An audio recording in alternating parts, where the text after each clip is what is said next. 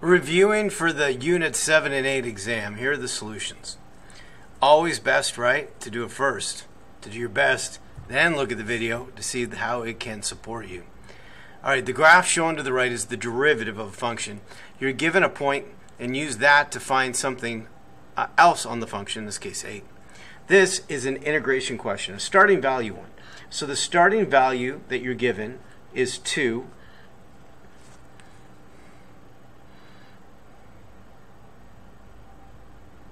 And then we're going to integrate from 0 up to what I'm looking for. In this case, I'm looking for 8 of the derivative. So there's the start. Starting value question. We integrate from 0 up to what we're looking for of the derivative here. So I need to go from 0 to 8 of this. And so how do I integrate off a graph? Is I find the area. So first I see, in fact, I'm going to go all the way across to 8. So first, I see this rectangle. So the area of that rectangle is 2 by 8. I can do that. So that 2 is from that, so 16. And then the other one on top, I think, is a triangle. And then the base and the height of that. So it goes from 5 to uh, 5 to 8, that's 3. And then the height goes from 2 to 5, that's also 3. Right? Three,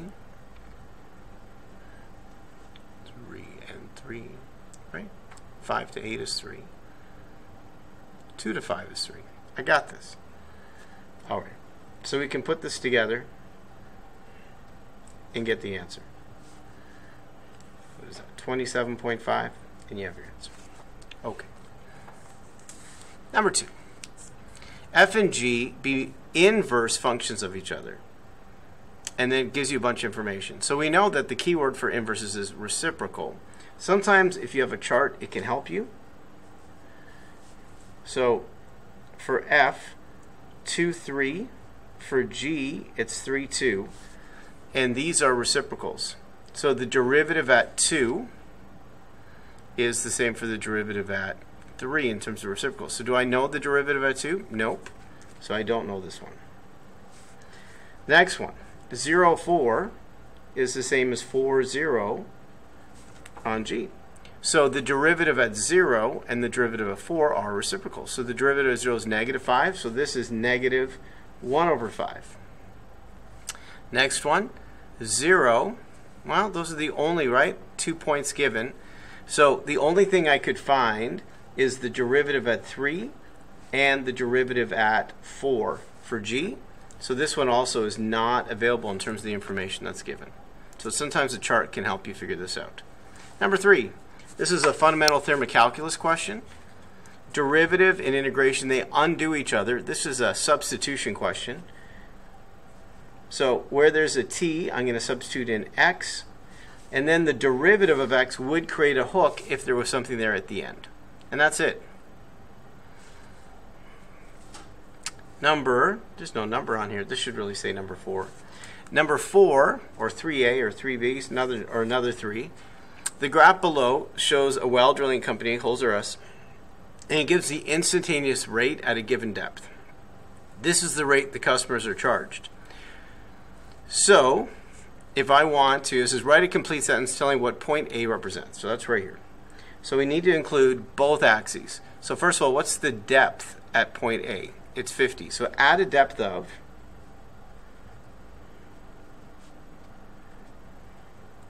Fifty feet. The rate to um, so the depth of 50 feet. The rate is what is it? 100 and oh wait a second. The x coordinate. Duh. So at a depth of 160 feet. Sorry. So at a depth of 160 feet, the rate is uh, $50 per foot.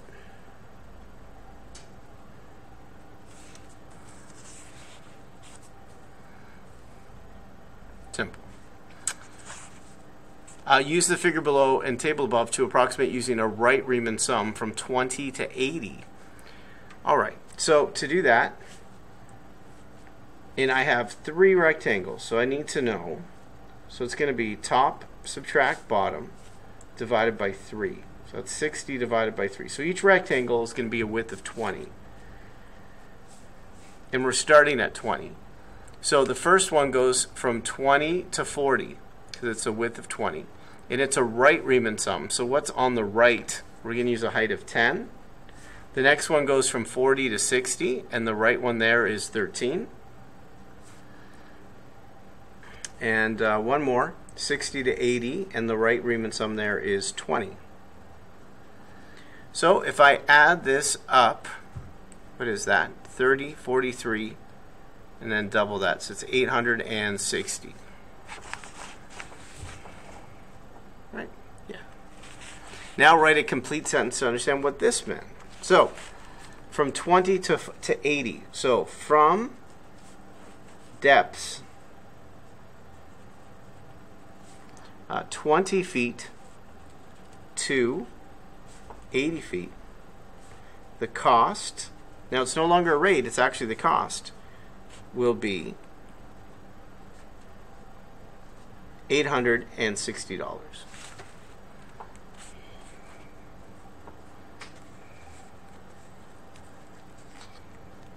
So it's no longer dollars per foot. Now it's just what the unit is, which is in dollars. All right.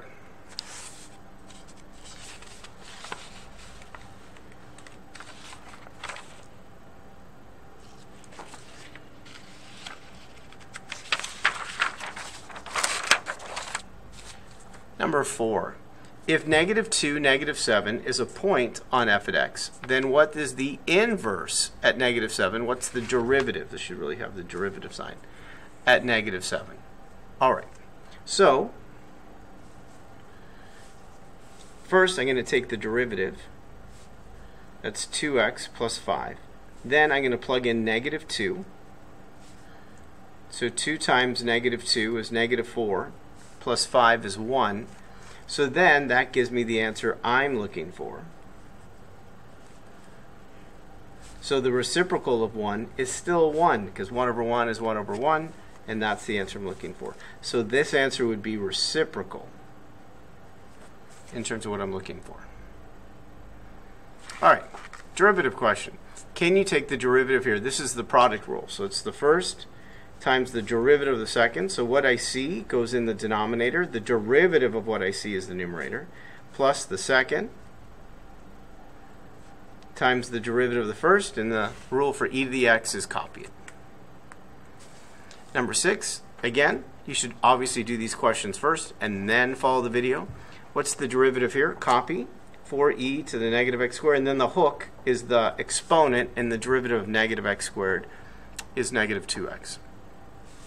Number seven, this is an integration question, so I need to know where the hook comes from. So the hook comes from the denominator. So the derivative of the denominator is e to the x plus 1. That's exactly what this numerator is. So the hook matches exactly. I don't need a fraction in front. So this is a logarithm, and what you see in the denominator goes inside the logarithm, plus c. All right, number eight, again an integration question. I need to know where the hook comes from again. That's the exponent. So the derivative of the exponent is negative 3x squared. Then I copy the rest. That's the hook that should be there. And then I compare what it was over what it becomes. So that's negative 4 thirds. Remember to circle the hook. So the hook, when you integrate, is not a part of my final answer. So make sure you circle it. It goes away. And my answer starts with negative 4 thirds. And then the rule for E is you copy it. And then plus C. Number nine, if f at x equals this, find this derivative. So this is going to be the quotient rule. So the quotient rule is um, the bottom times the derivative of the top. So the derivative of 2 to the x is copy it, but it needs a friend ln 2, minus the top times the derivative of the bottom, and then the bottom squared.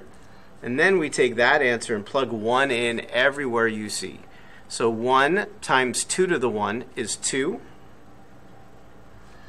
Plug in 1, and that's minus 2. Plug in 1, it's divided by 1. And that's a good answer there if you want. Uh, you could also write the 2 as an exponent here, so it becomes 2 squared to be ln 4, take away 2. That could be also an answer. That's being a little fancy, but that's a good final answer. Number 10. Find the equation of the line tangent to this at this point. So if I want to find the equation of a tangent line, there are three uh, values I need to know. So I need to know x, y, and the slope. So in this question, the uh, point gives you that, x and, and y. Find the slope, we need to take the derivative.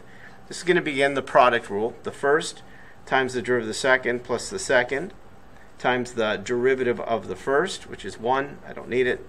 And then plug in, uh, plug in 1 into here. So 1 times 1 over 1 is 1. Ln 1 is 0. So when I plug in 1 here, this is just 0, so it just leaves me with 1. So the equation would be 1, the slope, x minus 1 plus 0, or you could just write down x minus 1. That's the tangent line. Turn the page. Number, number 11.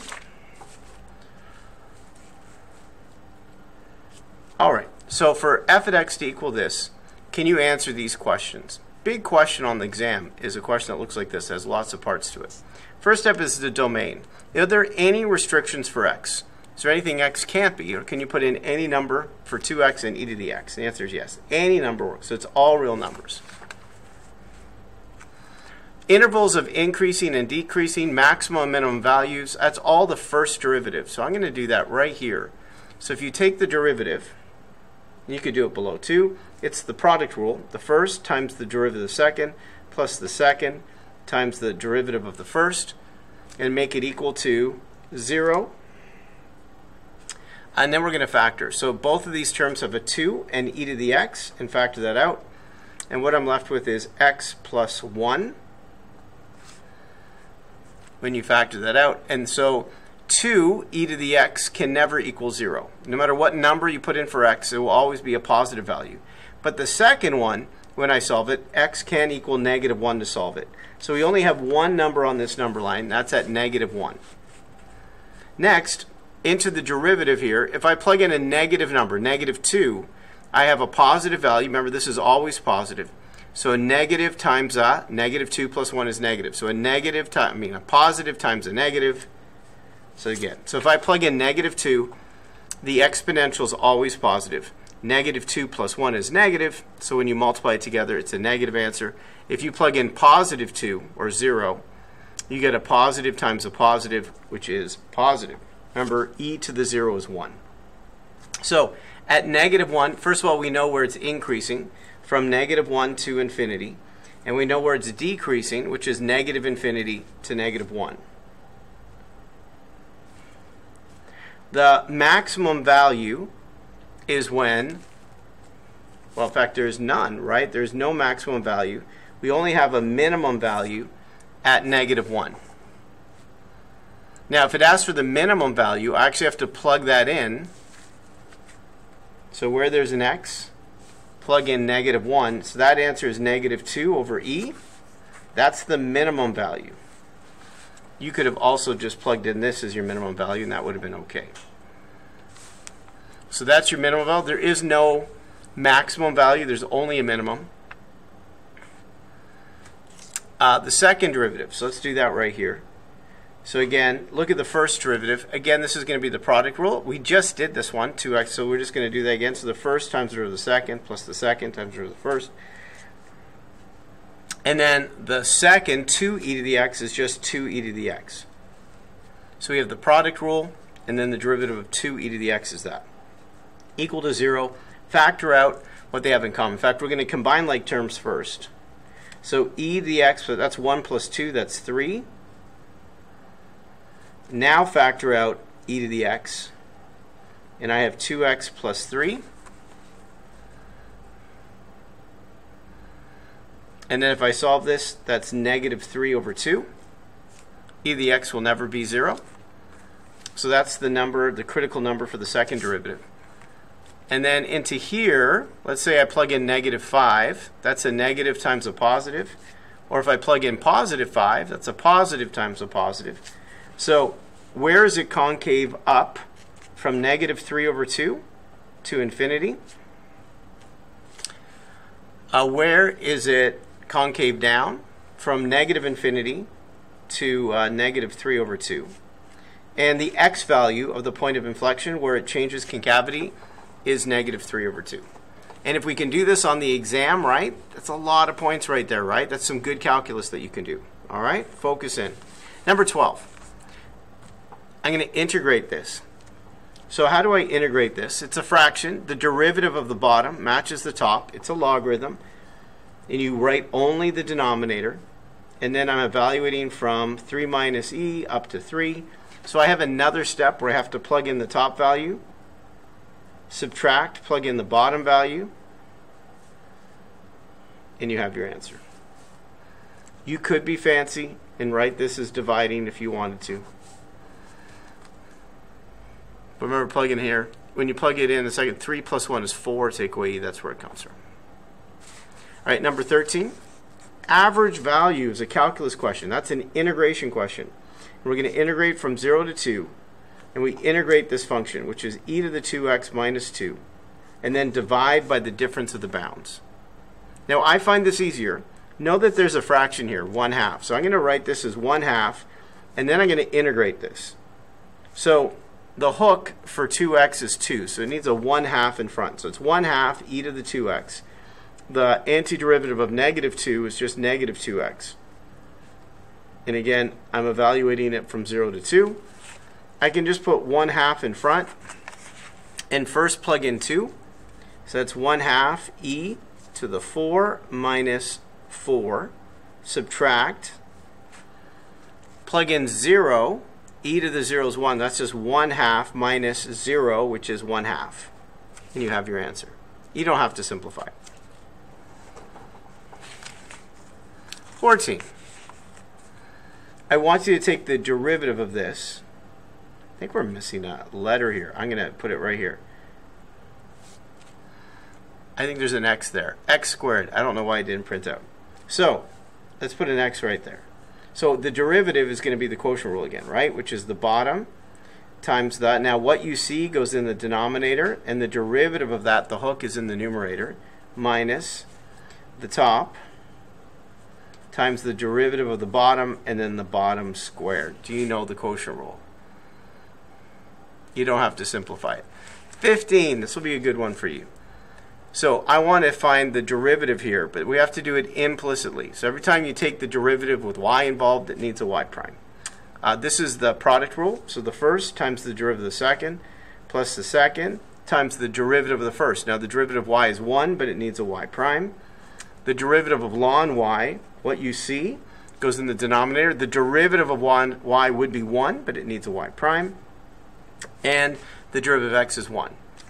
If it has a y prime, we need to bring it together. So we're going to subtract y prime over y to bring it to the left, and we're going to subtract uh, y e to the x. So we can rearrange it. Factor out a y prime. That's e to the x minus 1 over y. We don't have to make it look pretty. And then divide, and you have your answer. Awesome. Again, try your best first. All right, last page. This is really one. Let's try it first and then watch the video to see if you did it correctly. All right, we have a fraction. What's the derivative of the bottom? That's negative 12x. Let's going to change it. What was it before and what did it become? So it was a 2. It became negative 12. You can leave it as that. And then it's ln and then just the denominator. So the numerator goes away. So make sure you don't write down the whole fraction inside. Number uh, 17, we need to write this friendly. So calculus friendly would be 1 minus 4x squared to the negative 1 half. Now we don't have a fraction. This is not a logarithm. The derivative, the hook, is uh, negative 8x. And what it was was a 1, and what it became is negative 8. So it's 1 over negative 8. Now the hook is not a part of the answer. So we have negative 1 over 8. We add 1 to the exponent, so negative a half plus 1 is positive a half. Instead of dividing, we multiply times the reciprocal and then plus c, and it's done. Number 20, a Diffie Q. We're going to separate. We're going to divide by y and multiplied by dx. We're going to integrate both sides. 1 over y is ln y. This is x cubed over 3. To get y by itself, we write this as an exponential. We can rewrite this with two e's to separate the constant. And to remove the absolute value bars would be plus or minus e to the c times e to the x cubed over 3.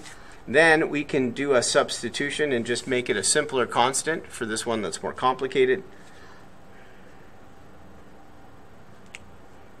And we don't have a point, right? So it's all done there. Done. If we did have one at this step, we'd plug it in to see what c equals. This one has a point. So again, we're going to separate the variables and plug in the point.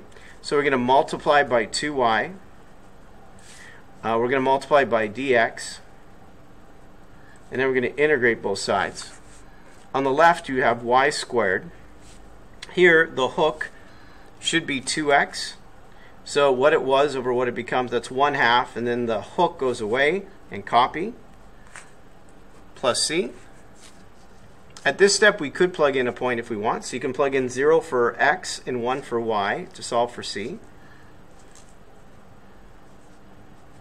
So e to the 0 is just 1. So that's 1 half. So it's 1 take away a half. That's a half. So that's what c equals. So I come back here. I square root. I got to be aware that the y coordinate's positive. So that means it's the positive part of the square root, not the negative in front. And then it's 1 half e to the x squared plus 1 half. Done. All right, number 22. Evaluating some limits here. So to evaluate this limit, first we need to know if it's indeterminate. So if we evaluate at 0, I get 0 e to the 0 is 1, so 2 take away 2. It's 0 over 0. That is indeterminate. So we need to take the derivative of the numerator and the denominator. So the derivative of x squared is 2x. The derivative of 2 is 0, and negative 2 e to the x is copy it. Again, if I plug in 0, I get 0, but e to the x is actually 1. It's actually 0 divided by negative 2. That's not indeterminate. The answer is 0. Here, the limit as x approaches infinity. We have the square root of x and ln x. Both of these are going to infinity. Both of these, the right end goes up. So we're going to do L'Hopital's rule. I'm not sure which one increases faster. So the derivative of the top and the derivative of the bottom, and then we're going to rearrange it and see what happens. So this is going to go in the numerator. x to the negative 1 half, that's going to go in the denominator with the 2. So that's in the denominator. These now both increase again, but now I can clearly see the top increases faster than the bottom. So the answer here is infinity, or you could write down it doesn't exist. All right, number 24. What's the limit as x approaches 0? That's 0 divided by negative 4. That's not indeterminate. That answer is 0. Number 25. If I plug in 0, the integration from 0 to 0, that area is 0, and 3 times 0 is 0. So this one is a L'Hopital rule question where we take the derivative. Now the derivative and integration cross out, and I just plug in. It's a substitution question. It's the fundamental theorem of calculus question. So I just plug in with no hook. So copy the whole thing, but put in x for there and then the derivative of 3x is 3. Now plug in 0, and you get negative 1 to the 10, that's 1, and then 3, that's 3, and it's 1 third. Oh, you see that fly? That's it. I'm done. The fly is flying. Mr. G Math over and out. Hope that helped. Till next time.